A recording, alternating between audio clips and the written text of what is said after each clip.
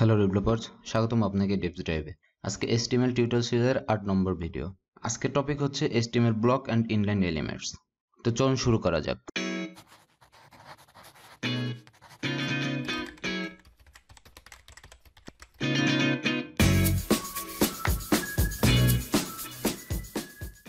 তো প্রথমে শুরু করব আমরা ব্লক লেভেল এলিমেন্টস থেকে।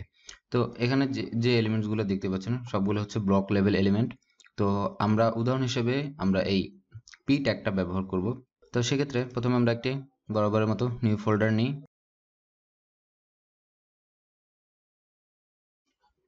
এটাকে আমরা একবারে ব্রাউজার ওপেন করে নিই। তো পি হচ্ছে একটি ব্লক লেভেল এলিমেন্ট তো আমরা কীভাবে যখন একটা পি ট্যাগ নিই, এখানে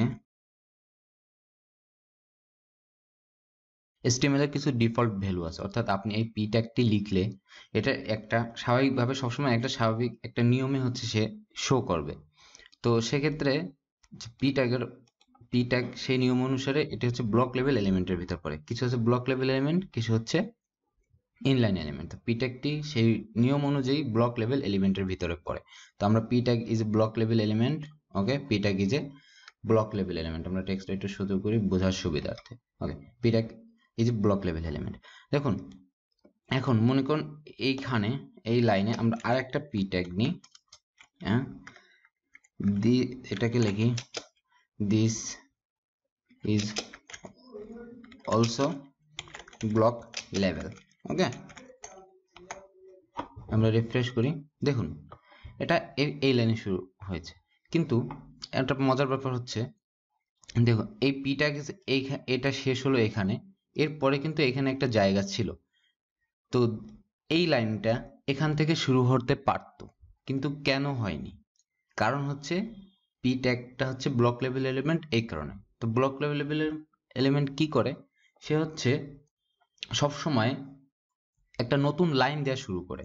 অর্থাৎ এই লাইনটা এখানে শেষ হয়েছে। তাতে কোনো, এখানে জায়গা থাকা সত্ত্বেও সে একটা নতুন লাইনে হচ্ছে সে শুরু করবে।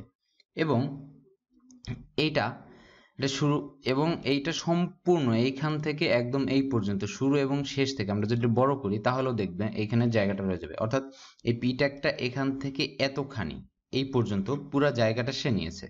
এবং উপরটাও এই কারণে তার নতুন একটা ট্যাগ শুরু হলে তার জন্য আর সে জায়গা দিতে পারে না। কারণ এই পুরো জায়গাটা এখানে লেটার থাক বা না থাক, সে ওই জায়গাটা নিয়ে নেবে। আমরা যখন এখানে আলো ওয়ার্ড যদি লিখি তাহলে আমরা যদি রিফ্রেশ মারি, দেখতে পাবো এটা এর পরে যুক্ত হবে।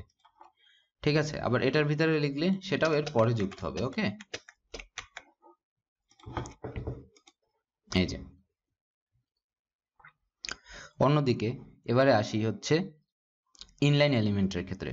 তো এখানে যে এলিমেন্ট অর্থাৎ ট্যাগগুলো দেখা যাচ্ছে, এগুলো হচ্ছে ইনলাইন এলিমেন্ট এখানে এই সবগুলোই হচ্ছে ইনলাইন এলিমেন্ট তো আমরা এখান থেকে হচ্ছে স্প্যান এটাকে আমরা উদাহরণের সাহায্যে দেখব।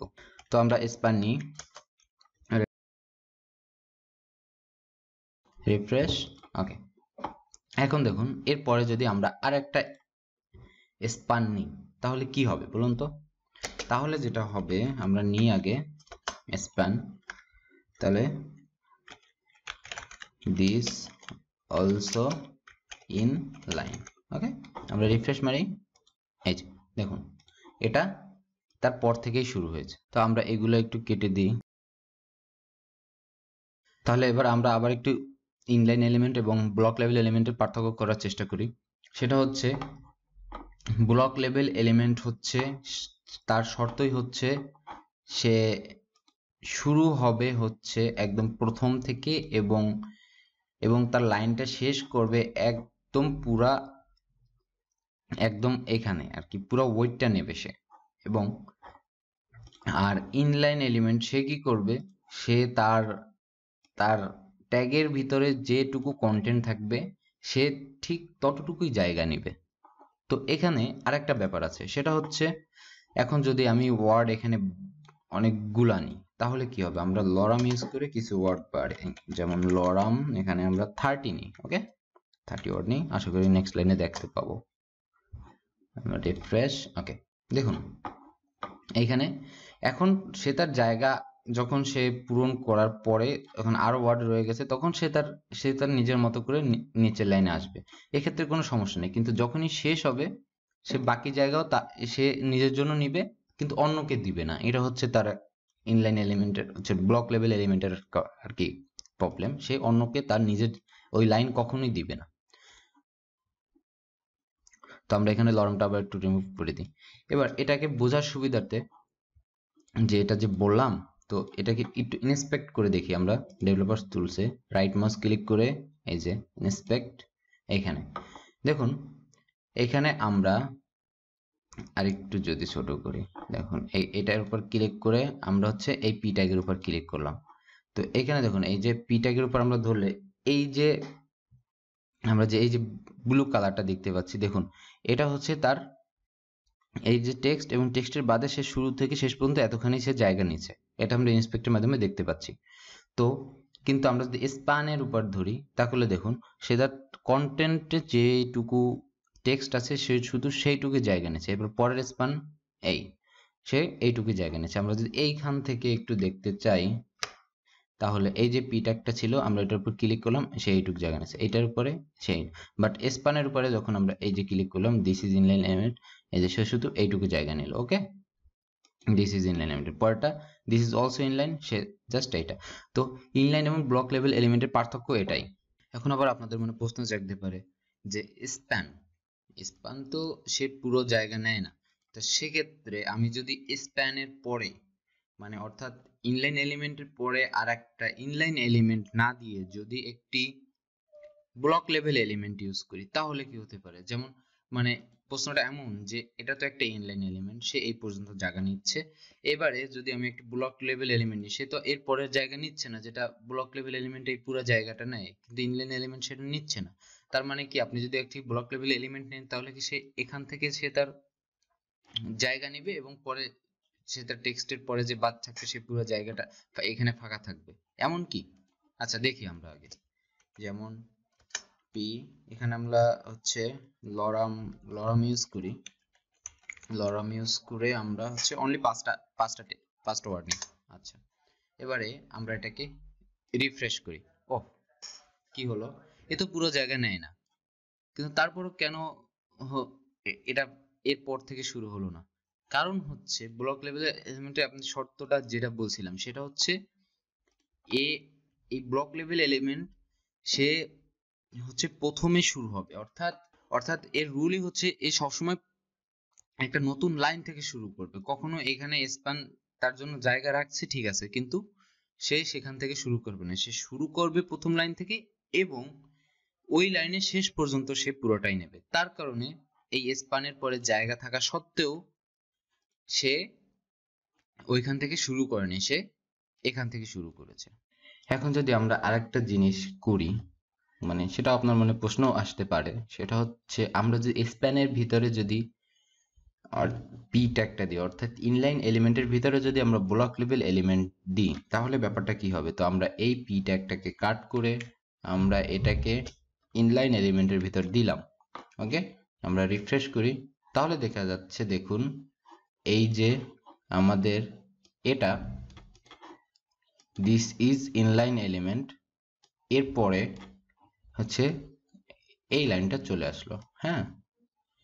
চলে আসলো। তো ব্লক লেভেল সবসময় ব্লক লেভেলের মতোই আচরণ করবে। কিন্তু আরেকটা ব্যাপার, সেটা হচ্ছে আপনি যদি এবার পি ট্যাগের ভিতরে যদি আপনি ইনলাইন এলিমেন্ট দেন অর্থাৎ